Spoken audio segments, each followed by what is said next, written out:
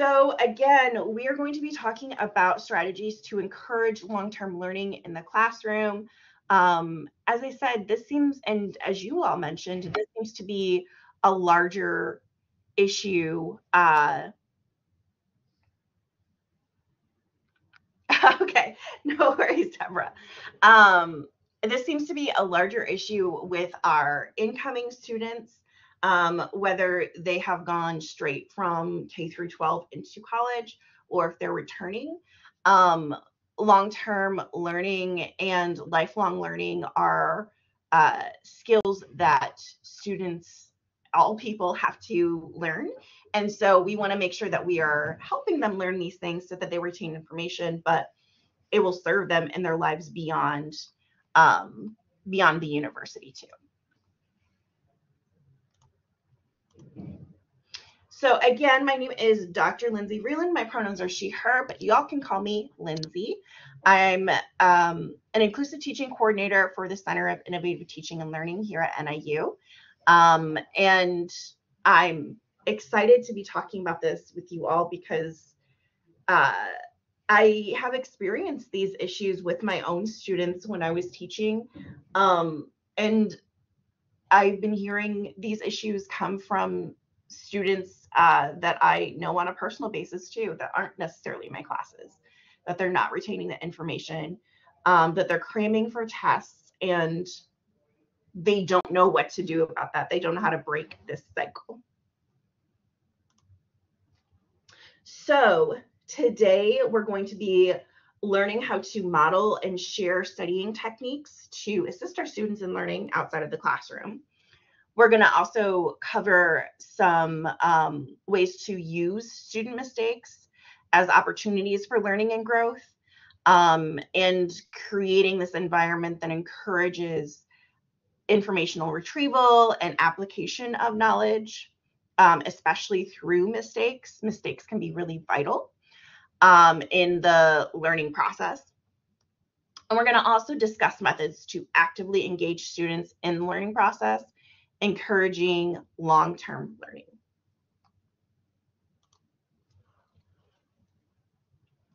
So the basics of long-term learning are that learners need to interact with information and practice skills, not just have knowledge deposited. So we can't just dump information into their brains and expect them to be able to uh, use that information and apply that information in the future. Short term memory, probably. Some people can do this uh, this info dump and use that information in the long run, and those are beautiful, beautiful brains, and uh, they aren't common, unfortunately. We also have to keep in mind that students are also likely taking more than one class. So even if we are even if they are able to uh, cram that information into their brains, um, there's a lot of things that they're learning all at the same time. There's a lot of things that they are uh, taking in. And so it's hard for them to take in so much information from your class alone, let alone possibly four other classes, um, or or even more for for some of our students. So we want to make sure that we're doing student center activities and discussions to help them avoid cramming for exams or being underprepared in general. And I know some of our classes don't um, don't lend themselves necessarily to doing a lot of activities and discussions because we have so many students so we're going to talk a little bit about how what that might look like if we have classes that are, you know, 50 and and up because even a class of 50 students is a lot to manage. That's harder for students to move around because you have a bigger classroom. You probably have um, stadium style seating. You might not have desks that move. You know, what does that look like? So we'll talk about that.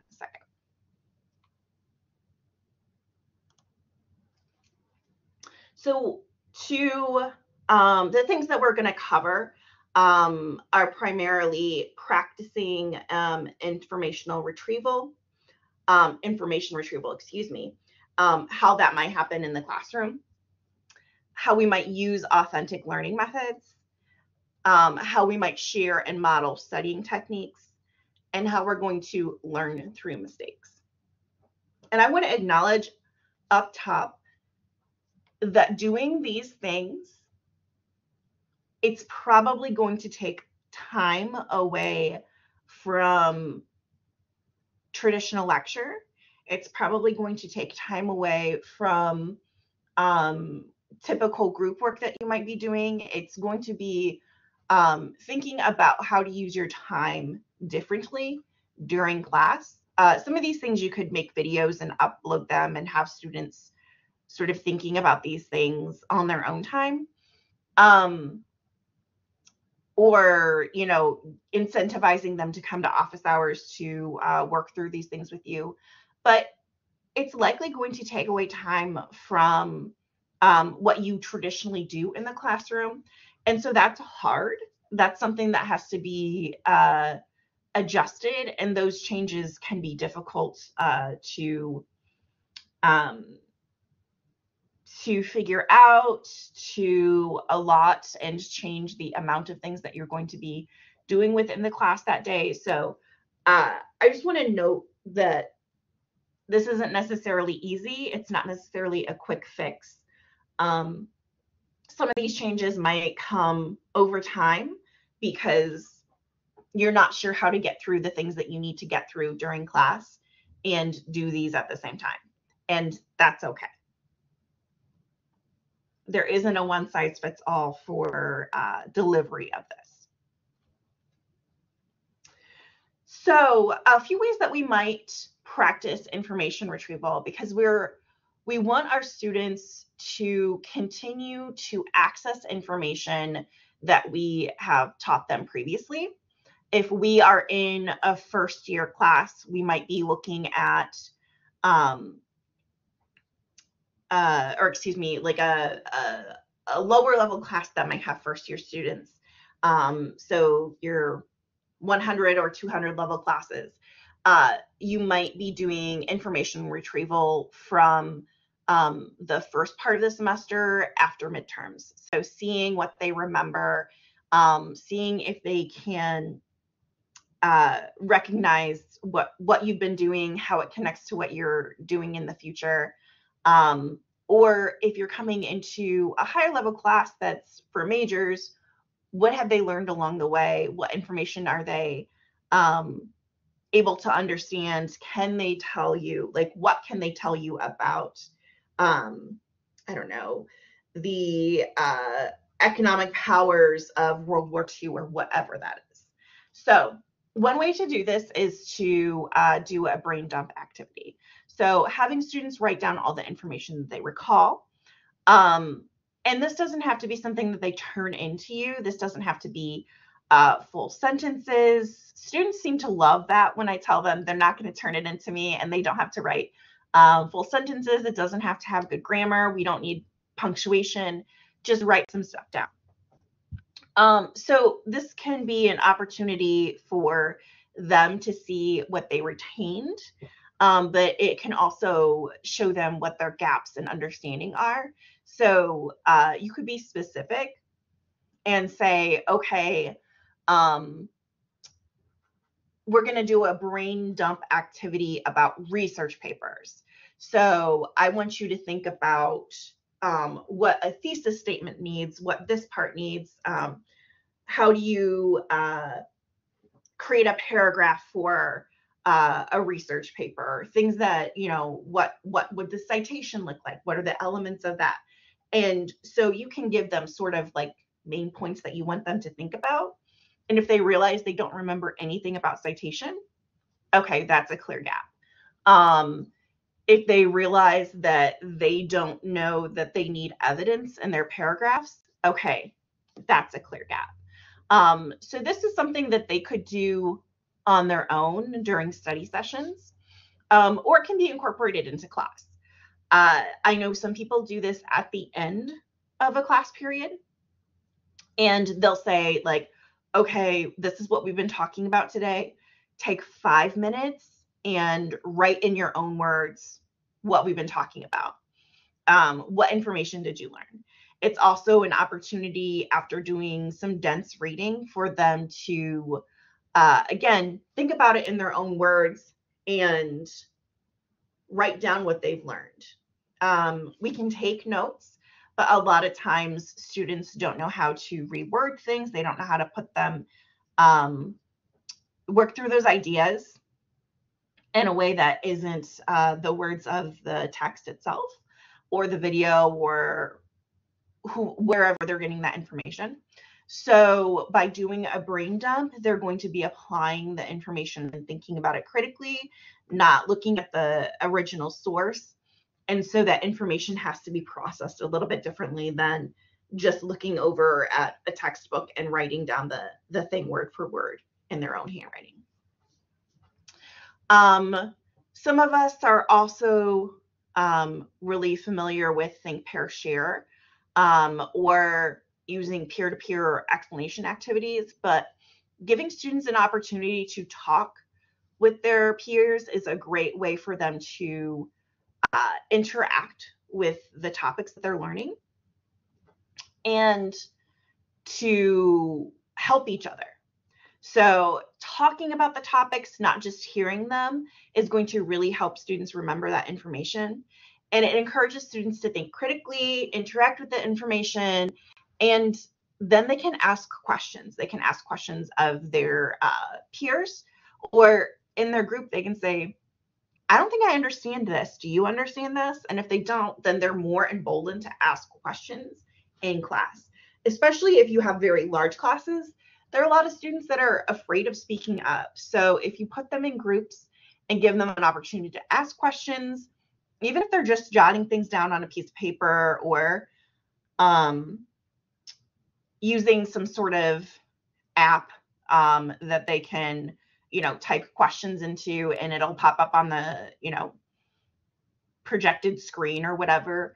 Uh, there's a different, there are different ways for that students can ask those questions, but it really gives them an opportunity to ask questions, to think through things, and possibly even teach each other depending on their level of comfort with the topics and and what they understand.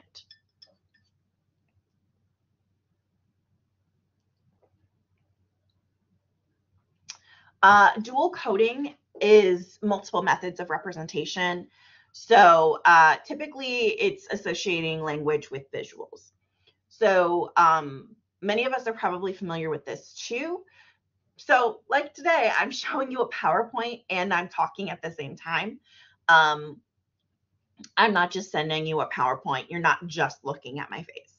Um, looking at my face could be great for some people, but uh, actually seeing the words, actually uh, having me talk about this with you gives you something to ground that information in to. And then if I were to share my PowerPoint with you in the future, you might know how to uh, where to go to access particular information, um, especially if there are visuals like pictures or graphs uh, that are working to really uh, create a connection between um, language and its meaning and something uh, visual.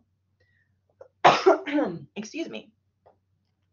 So it like I said, could be a lecture or a talk or something with video uh, or audio and visual components. Um, if you're teaching online, you can give students PowerPoints, but um, if you can talk through those PowerPoints, if you can give them um, videos from Nat Geo to back up what you're saying about um, carnivorous plants or whatever the topic is uh, if you can give them a graph of something so that they understand the water cycle.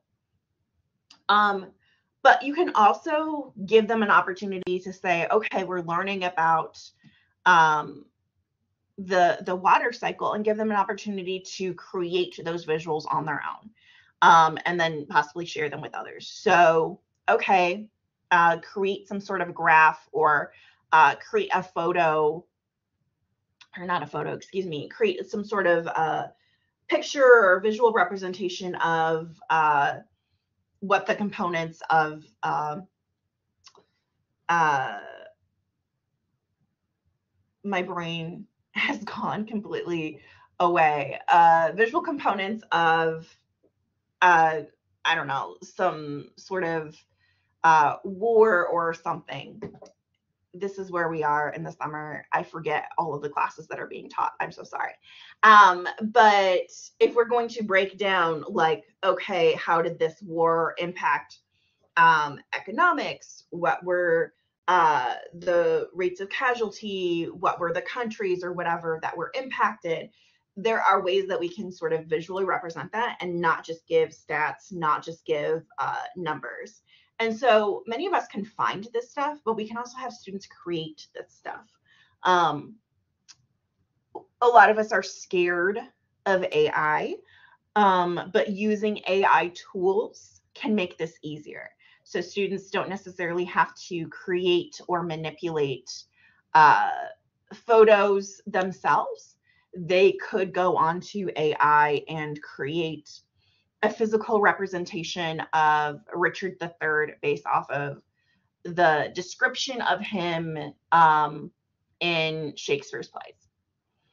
So that's an interesting way of interacting with the text and thinking about the characters that wouldn't necessarily be as easy without AI. So there are tech things and tool things that we can use to make this a little bit easier and also students generally know how to use this stuff.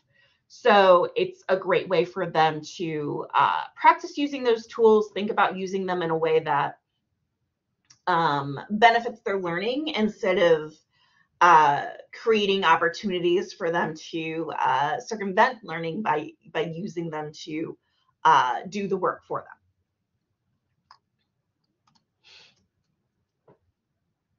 We can also share and model studying techniques in classes. So uh, some of us might be familiar with Pomodoro sessions, excuse me.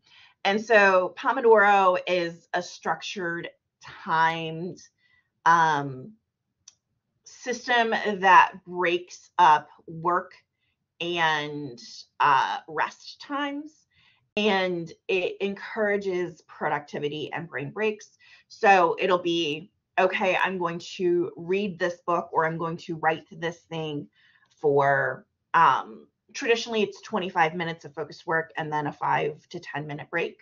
So a lot of people will say, okay, I can only use this page. I can only interact with this uh, Word document and this book in front of me for 25 minutes. My phone is over here. I can't touch this thing. I can't go to any other web pages. Um, or it might be just this work uh, or this this Word document and this web page, or um, I have to handwrite notes for this amount of time, whatever it is. Um, so traditionally it's 25 minutes of work and then five to 10 minutes of break. Uh, and then if you want to do a full cycle, uh, or for completed cycles, they recommend a 20 to 30 minute break after four completed cycles so that you're actually getting brain breaks. You have a chance to go to the restroom. You have a chance to um, answer those messages on your phone. You have a chance to uh, start a new playlist, get a snack, whatever you need to do um, before you go back into focusing on your work. So this is a great way to, uh, this is a great style of uh, studying that might work for students and can definitely be talked about in class.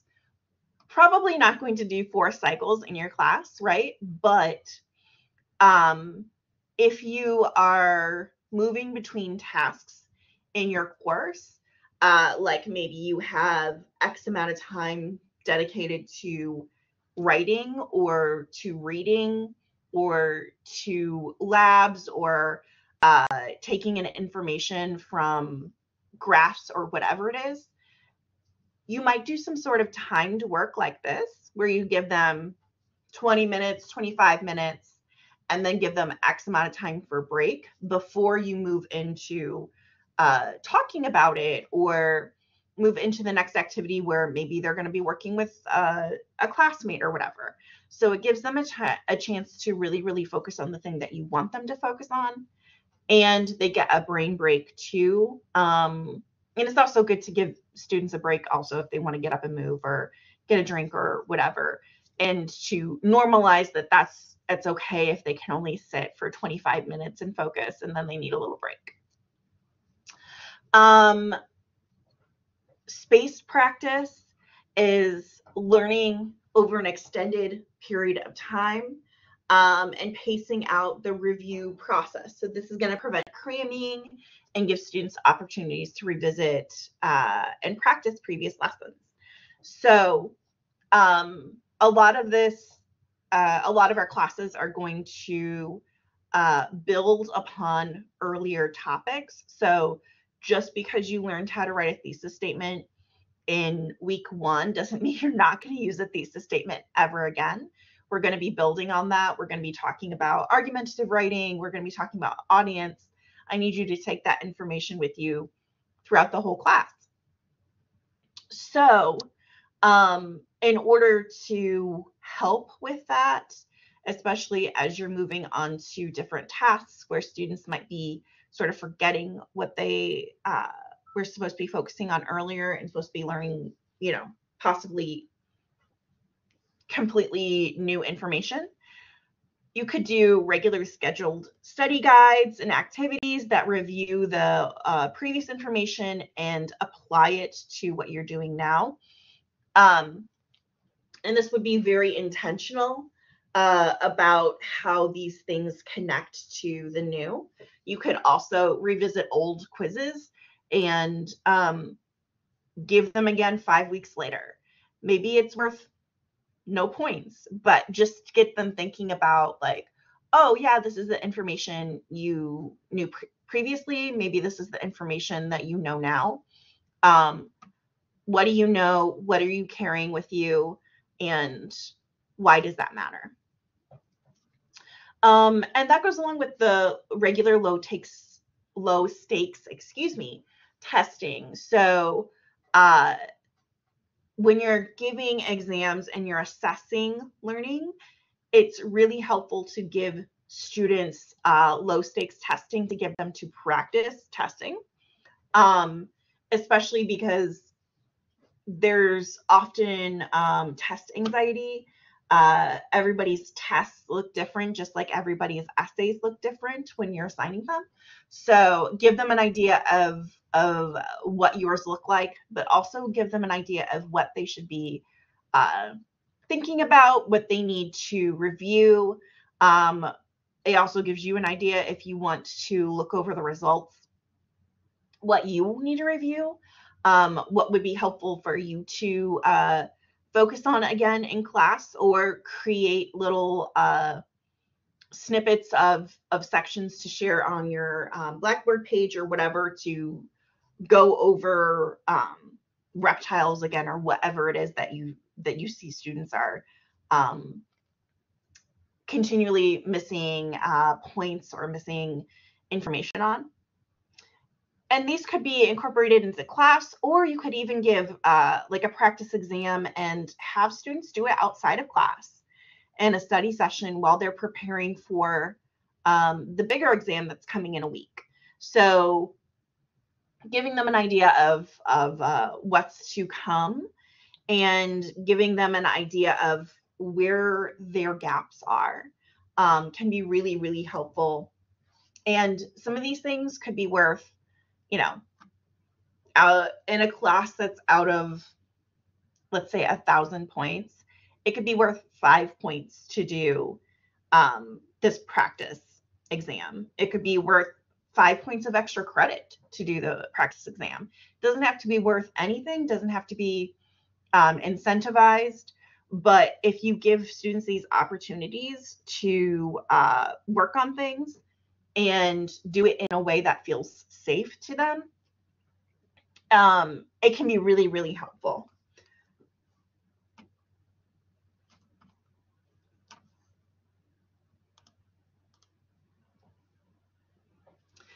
Uh, some of us, again, we we might already be doing this and using authentic learning methods, but if we can create a connection to real life situations and contextualize information using concrete examples, that's really, really helpful for students to understand the connection and understand the importance. Um, so if you're able to connect it to their their lives, their interests, the communities and cultures that they belong to, or that they recognize that they uh, think are important, that can be really, really big. So it's awesome to learn about marketing, but having students create a marketing campaign for something that they are personally interested in, whether it's they like Nike, they're a big shoe head and that's their their favorite brand, so they're gonna focus on that and um, a project. Amazing. Um, but it could also be something that you know they could pretend they have their own company and they could make it whatever they want so uh, are they able to have that personal connection to what they're learning so that they can practice these things but it also uh, feels real to them so that they're going to contextualize that information in a way that is meaningful and be able to draw that out later. Um, giving them authentic learning opportunities. So authentically applying the skills or the information um, using tools or technology.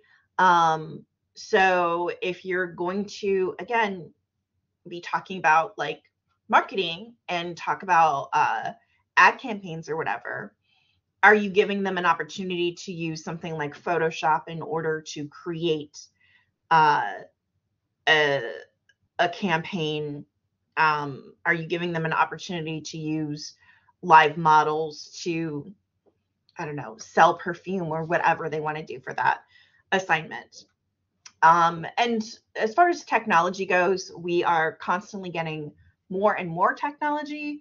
Um, adobe has a new uh, creative cloud i think is what it's called that uh, just came out and we all have access to right now.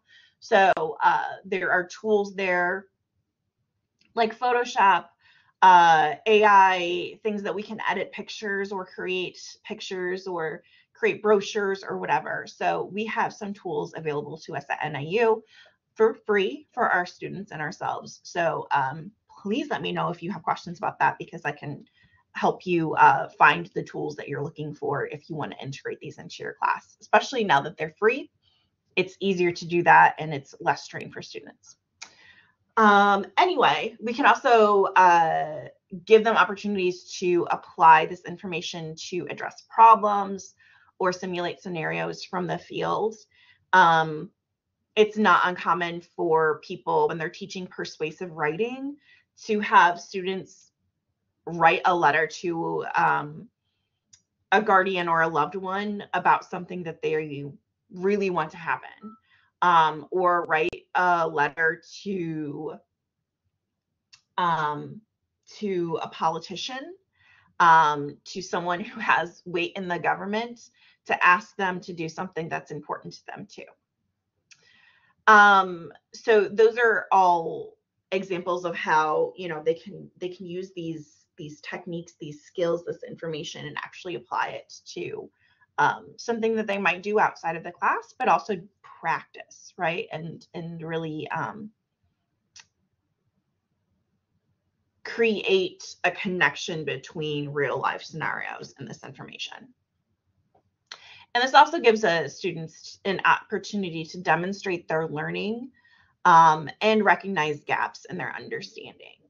Um, correcting mistakes i think is a huge thing that we're talking about more and more in um, the field of of higher education and thinking about uh, the learning process and what we are doing that doesn't necessarily flow with the natural learning process within higher education but also within k through 12 And so giving students the opportunity to correct their mistakes when they make them really helps them solidify information and demonstrates that learning is a process and that you're not supposed to automatically understand something just because somebody told you it. So it could be something where in an in-class activity, uh, you put something on the board um, for I don't know, for physics, a problem that was uh, that was done and was done wrong, and you have students correct that mistake. Um, but it could also be something where students are reviewing their personal mistakes and correcting them, or if they're working in small groups, might be uh, looking at the mistakes within the small group and correcting them. Um, even uh, returning exams or quizzes and giving them the opportunity to uh, redo things that they got wrong and even asking them to explain. Um, and that's an opportunity that they could you know possibly get uh, regraded or make up some of those points. Um, but it will also help that information really stick with them because it's very possible that they crammed for that exam. And so to revisit things that they missed, there's a gap there, there or a misunderstanding there, and this can really help solidify that information. Do a lot of real writing, resumes, memoirs, letter to an individual I choose, identify a problem. Yeah, that's all great opportunities for students to really think about how writing connects to their personal lives. Um, I have a, encountered a lot of students that think that they don't write. Um, and they don't realize that texting is writing. They don't realize that um, posting on social media often involves writing, writing emails to uh, their uh, instructors, to uh, potential people that they you know want to work with their company or that they're looking for resources from all these things are are writing uh, whether they recognize it or not same thing they don't realize or they think that they don't read but i'm like you're constantly surrounded by information just because you didn't you know sit down and and read uh, an entire book last night doesn't mean that you're not a reader. You're looking at things constantly and reading them and, and taking in that information. And so, if we can show them that they're doing these things in their own lives already, but we can help sharpen their skills um, and that it's going to serve them in the long run, they're more likely to then, you know, accept that, to build off of it, to make space in um, in their brains and and in their lives for for this information. So i'm curious um, i want to make sure that we have some time for you all to share because i know that you all are doing cool things um, and deborah anticipated this uh, and i'm so glad that you uh, shared already but I'm curious, what are some ways that you're encouraging um, long term learning in the classes that you're currently teaching or that you have taught in the past? Um, and if there are challenges that you've encountered when trying to do these things, if there are particular things that even maybe you're not doing, but you know um, colleagues have done or that you've experienced yourself as students. Um, I'm I'm curious and I'm interested in hearing any of that. And I'm also happy to answer any questions if you have questions for me.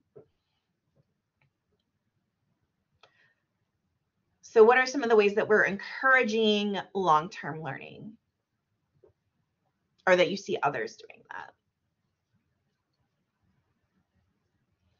And, you know, to go back to Deborah's uh, comment, real writing and applying these things that especially students sometimes they've been told that they're bad writers they've been told that um, they don't know what they're doing they have uh, a lot of anxiety or uh, even anger attached to the way that they've been treated in writing classes before or the way that they feel about their writing. And so being able to show them that, okay, it doesn't necessarily have to be a larger research project that you're writing about. Like there are little ways that we are doing these things all the time and that we're going to be doing them in the future. Okay, Bonnie says asking students to give a personal example of when they experienced a certain sociological concept or phenomenon after first modeling how to apply a funny, memorable, with a funny, memorable personal story of my own. I love that, Bonnie. I love that so much. I think that's something that when I teach um, gender and sexuality uh, studies courses, I do a lot of that too, because some of these concepts and theories can feel so cold and so removed. So if we're talking about, um, I don't know, intersecting identities or whatever, if I can talk a little bit about myself or if I can talk about even um, a character from a TV show or something, if I can talk about Bob from Bob's Burgers, um, that helps them see those concepts and see that and, and understand that in something that they might recognize themselves. Um, but then also maybe apply it to their to their own lives to their own uh, situations or the people that are around them. Yeah i love that.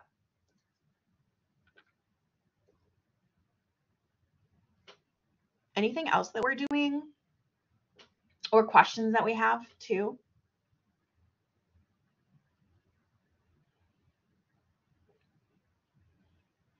I'm curious if any of you are all, um, excuse me, if you're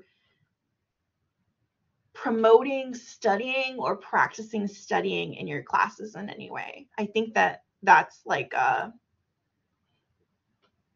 a hard thing to budget time for, but I think it's also sometimes very necessary. Thank you, Deborah.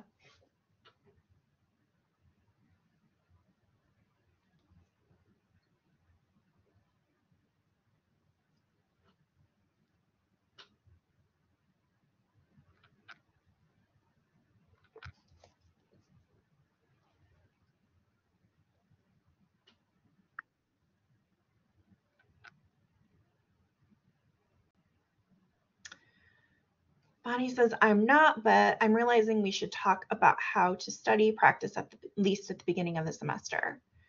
Yeah, I think that's really, really helpful. Um, if you can give some time to that at the beginning, and then, I mean, depending on when you are, um, when you're planning your assessment, if it seems like, oh gosh, people aren't doing well, um it's always good to like revisit that you know after midterms or whatever it is. Um but it's also useful to create a short video of your own or use somebody else if somebody else already explained the pomodoro technique.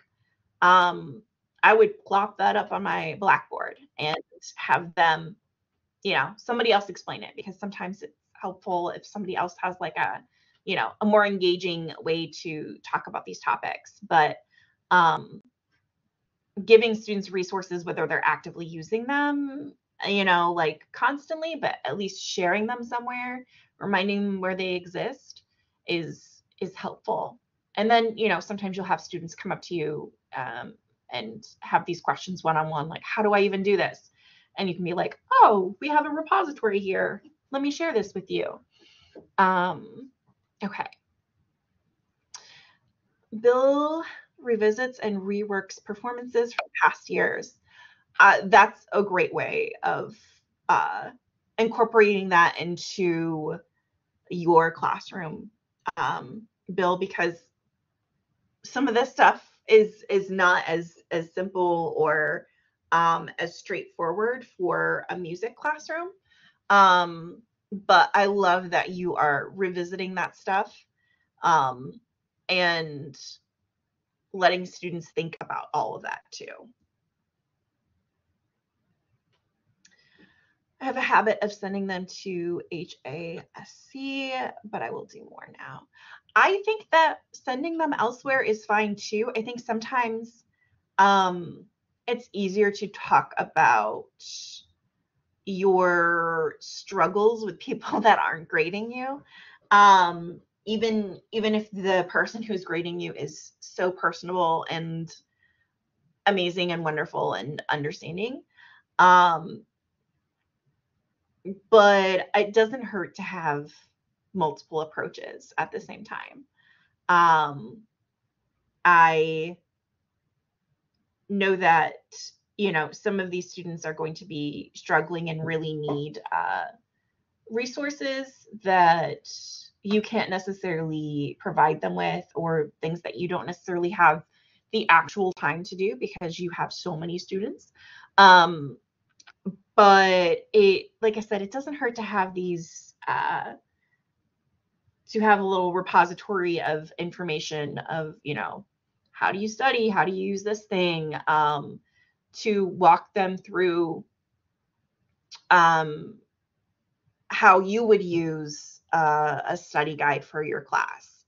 Um, things like that are are always going to be helpful and are generally you know you're going to dedicate this amount of time right now to doing it and you can reuse those in the future too. So um, i don't think that that's a bad use of time and i think that it's also something that we can start thinking about for the fall semester coming up if we're teaching over the summer um, it's still pretty you know we we've got some time to create those resources or to think about how we might incorporate those into our classes right now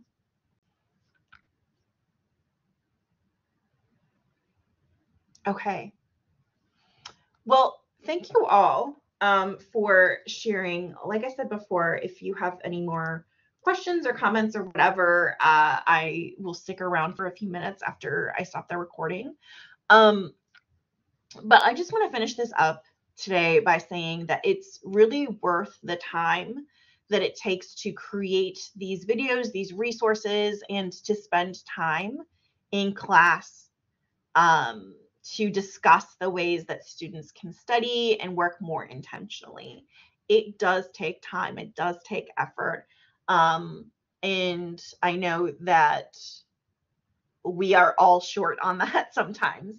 Um, so if we can plan ahead, if we can plan now before things start up, uh, that's really, really useful. But at the at the least, creating videos um, or even saying during my office hours this week we're we're in week two come to my office hours and let's talk about studying or let's talk about um, intentionally doing xyz things. And so sort of inviting those conversations outside of class if you don't have the time in class necessarily. Um, also recognizing that you know mistakes are going to happen. Don't make students feel bad for them. I'm willing to believe that you all are not, but um, you know, it can be really heartbreaking when students study hard and they don't get a passing grade on an exam or they got a whole letter grade lower than they thought. So, um, if there are opportunities for them to uh, learn from those mistakes, correct their mistakes, get more points, um, or just prove that that they've learned those concepts or practice those concepts and then they can learn those in the future i think that's a great opportunity. I think it also is is really helpful to talk about mistakes as part of the learning process in class so that students don't necessarily feel worn down by that. And um, bonnie mentioned earlier about connecting um, things from class to your personal life. Talking about things mistakes that you've made or times that you uh, didn't do as well as you thought you would really helps students see that this is you know not necessarily something that comes natural to everybody. Learning is a process. It's not um, you know an immediate uh, stop on on their journey in college right? There it's going to be easier for some people in some areas but it's always going to be work um, and also, uh, we're working the class um, excuse me, reworking the way your classes run. It's difficult. It can be difficult, but it does benefit your students. Um, and we should be continuing to develop and evolve in our courses. Our students are not the same students that we had 10 years ago, um, let alone, you know, five years ago, pre pandemic. So we need to be thinking about how we're adapting to the the brains and the learning styles of these students who have grown up um, you know the the ones that have gone through K through 12 and are now in in college immediately they've grown up with the internet they've grown up with uh, internet phones. They uh, have shorter attention spans. Um, they might not be used to handwriting notes. All of these things are going to impact the way that they learn but they also have had access to so much more information um, by the age of 18 and easily have access to this information by the age of 18 than the generations that came before them. So there are so many benefits that come along with uh, with this new generation of college students, but there's also things that we need to recognize as not working for them that worked for students in you know in the 90s or the 2010s. Um, Bonnie asks, do you have a link to a short, a good short video explaining the Pomodoro technique that would be suitable for posting on Blackboard? Bonnie, I will happily share a link with you. Um, I will be sending an email out after this uh, with the recording and everything, and I will give you a video that goes along with that too, as well as all of my resources that I uh, that I used for this presentation.